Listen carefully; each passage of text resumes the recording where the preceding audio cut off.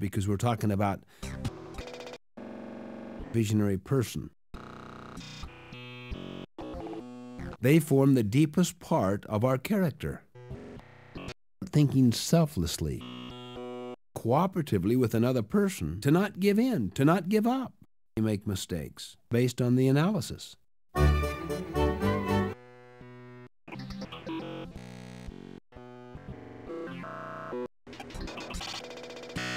And it's often very popular. Be proactive. Now imagine the paradigm shift that took place.